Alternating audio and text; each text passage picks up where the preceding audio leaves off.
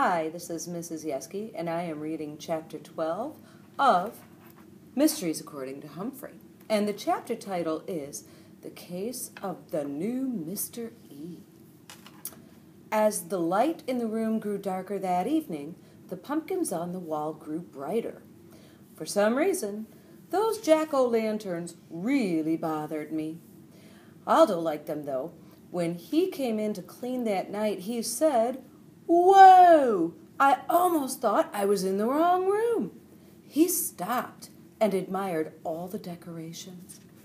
They did a real good job. Speaking of Halloween, I have a present for you, Humphrey. I love, love, love presents. He wheeled his cart to the middle of the room. Then he reached into his lunch sack and pulled something out. Maria helped me with this, Aldo explained as he walked toward my cage. He opened the door and put something orange in my cage. A little Halloween treat, he said. In front of me was a tiny jack o' lantern. It was actually a piece of pumpkin with carrots and seeds that made a little face. It looked perfectly hamsterlicious. Thank you, thank you, a million times, I squeaked excitedly. It's my pleasure. Aldo replied. I started to nibble on the pumpkin right away while Aldo gave Og his nightly froggy food sticks. Poor Og. I guess he'll never know how tasty pumpkin is, especially the seeds. When Aldo was ready to leave, he said, I've got a joke for you two. What do ghosts eat on their cereal? I have no idea, I said. Og didn't say a thing. Not even boing. Blueberries! Then Aldo burst out laughing and kept on chuckling as he rolled his cart out the door. After he'd gone, when I looked up at the row of pumpkins on the wall, they didn't look scary. They just looked yummy. Class, it's time to begin, Mr. E announced the next morning. We have a lot to do today. Can we play mathketball? Simon asked. Not right now, Mr. E answered. Word war? Rosie asked. Not today, Mr. E said. We've got a lot of work to do. There were a few groans, but not many. We're going to start with Miss Brisbane's mystery words, he said. Take out a sheet of paper. Mr. E still had small round glasses and red hair.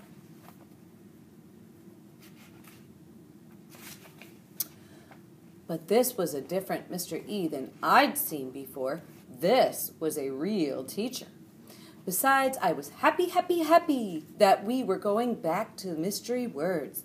I knew what pie whacked meant, and pizzazz, but today. E gave us a new word to figure out persizzle. I wondered if it meant a hot handbag. He wrote this sentence on the board When you go to the store, Please get some persizzle for tomorrow's lunches. Gosh, persizzle had to be some kind of food, but it could be anything carrots, apples, celery, or other crunchy things. Then he wrote another sentence. My grandmother spent the afternoon teaching me how to bake persizzle. I don't think a grandmother would spend a whole afternoon teaching somebody how to bake a carrot or an apple. I like them raw. My favorite breakfast is persizzle with jam.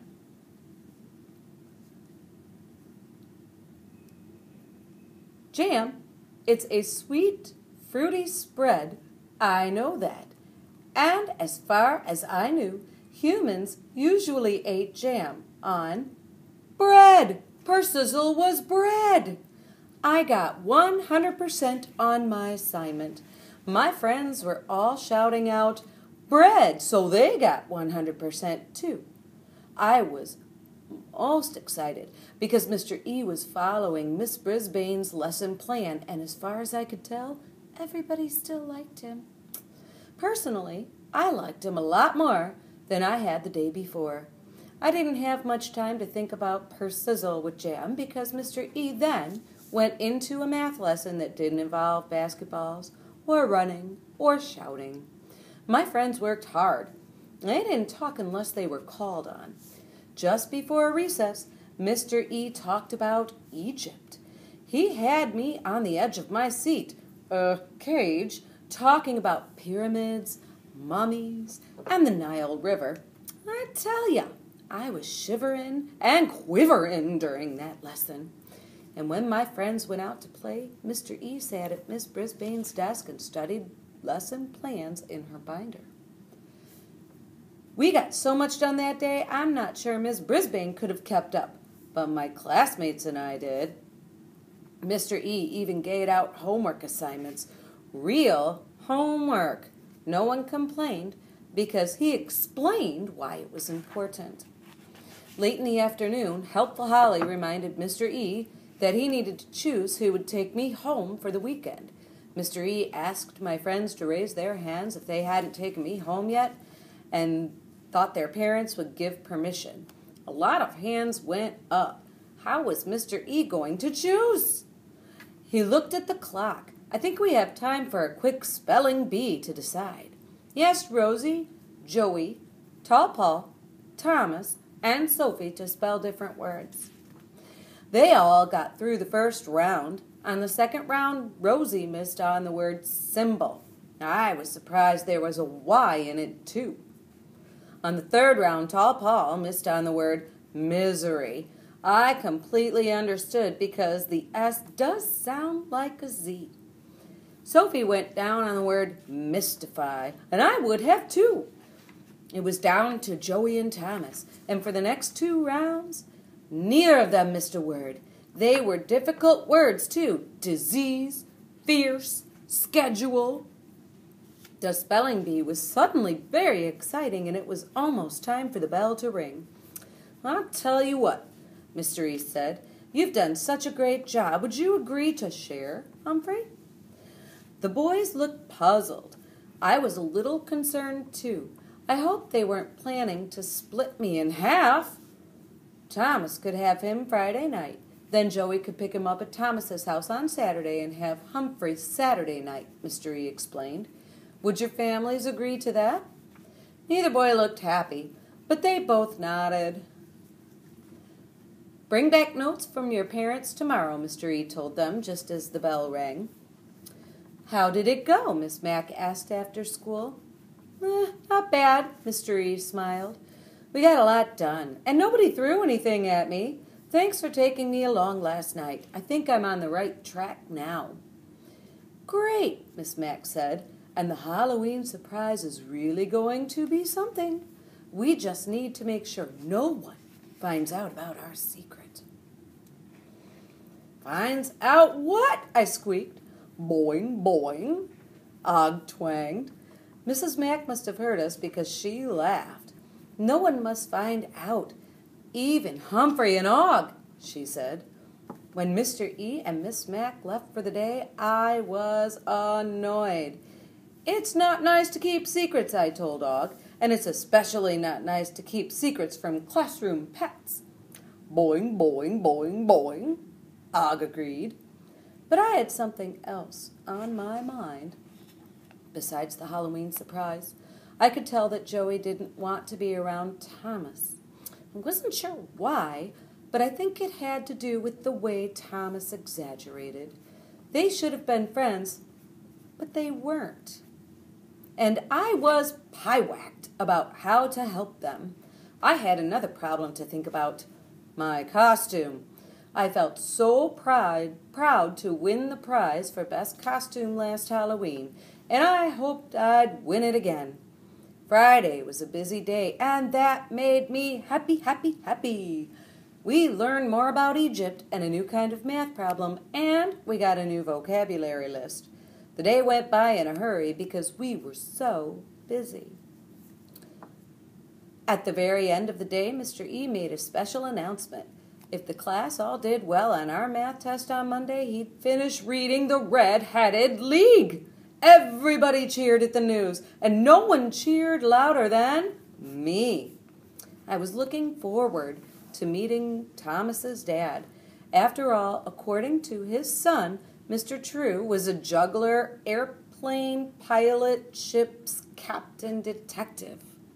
When he came to pick us up from school, He just looked like a regular nice dad.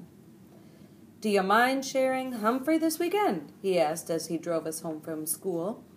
Uh, not really, Thomas said. Maybe when Joey comes over tomorrow, we could shoot some hoops. Sure, Mr. True said. I'll take you to the park. I wasn't sure if Joey would like that, but I crossed my paws and hoped that he'd say yes. When we got to the house, I was suddenly a little nervous. So far this school year, Thomas had told a lot of stories about his shark teeth collection, the gigantic fish he'd caught, and huge spiders and colossal snakes, and all those stories about his dad. Luckily, I didn't see any spiders, snakes, or fish, with or without teeth, at his house. Thomas's dad helped get me set up. His little sister Teresa came in to watch me.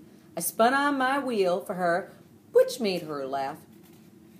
Then Thomas's mom brought me a celery treat. Later that night, they all watched me roll around in my hamster ball. While I rolled, I wish I could help the boys become friends. All that rolling helped me think, and before long, I had a plan that would force them to spend time together, at least for a little while. I crossed my paws and hoped it would work. If they got to know each other better, maybe they would find out what I knew. Thomas was a nice, normal boy. And Thomas would find out that if he wanted friends, he needed to stop exaggerating and tell the truth. Otherwise, how could anyone trust what he said? Humphrey's detection detectionary.